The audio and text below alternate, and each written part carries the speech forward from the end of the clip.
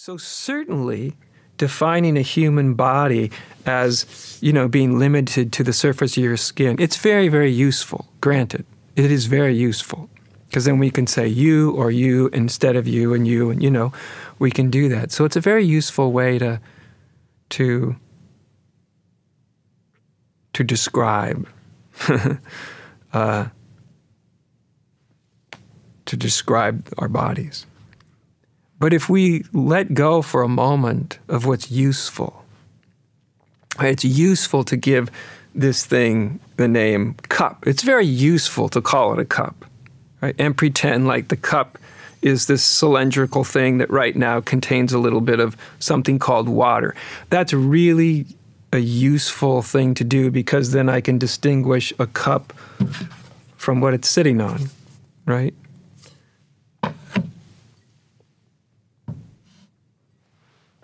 But if we go beyond usefulness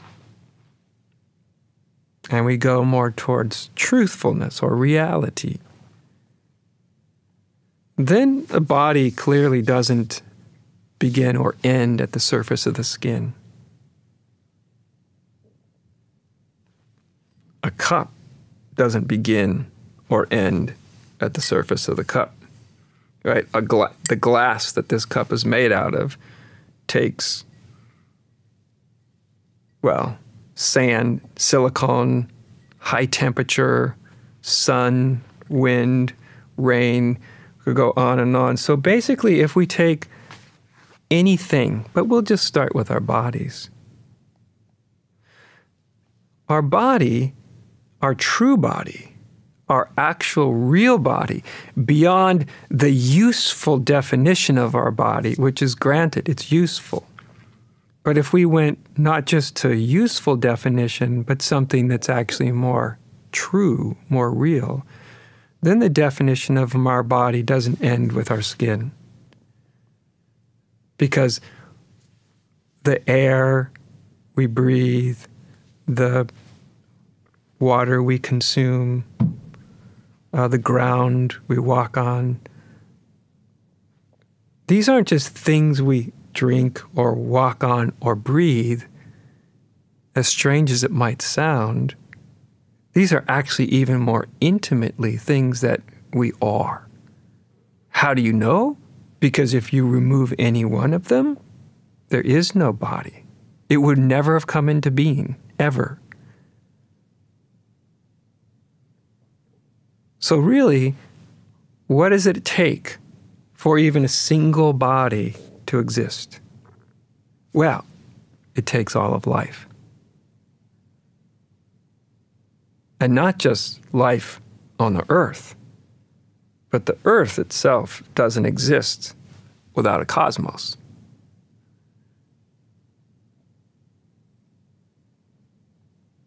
So, what's our true body? Really? Where does it end? There is no human body without a cosmos, without an earth, without the sun and the rain and the wind and the clouds and all the other elements around us. And yet, those don't fit in our useful description of a body. What I'm talking about isn't particularly useful in a sort of, you know, utilitarian way.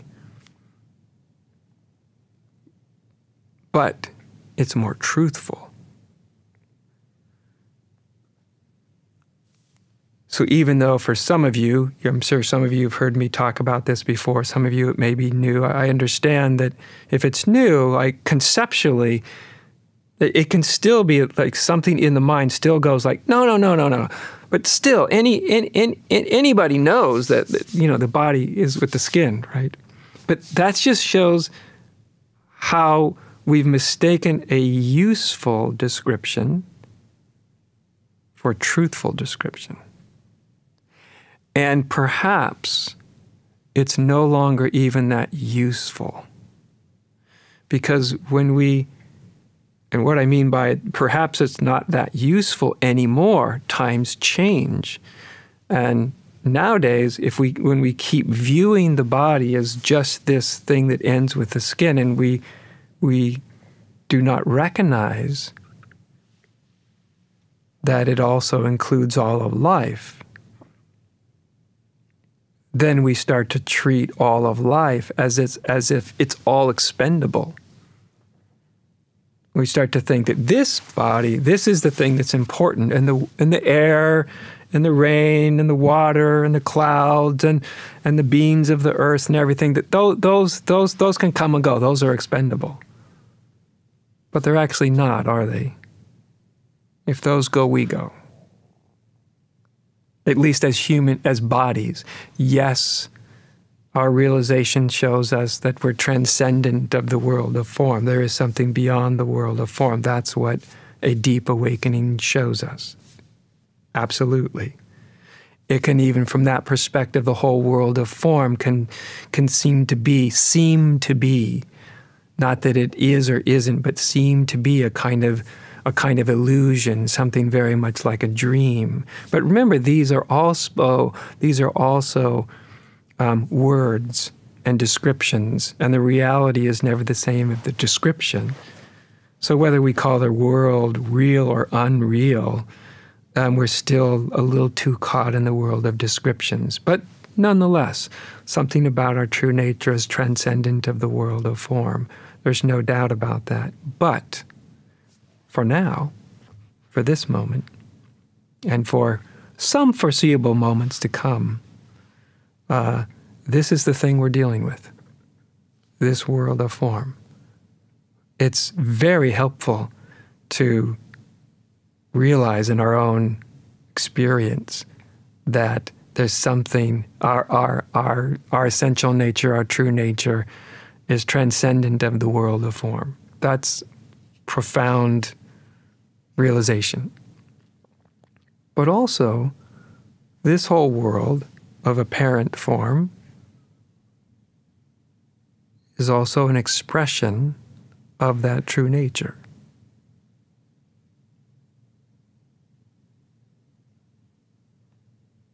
Whether we call it an illusion or not an illusion, a dream or not a, a dream, this right here, right now, wherever you may be, wherever you may be, whatever part of the world you may be in, whatever room you're in, that right there, the whole environment,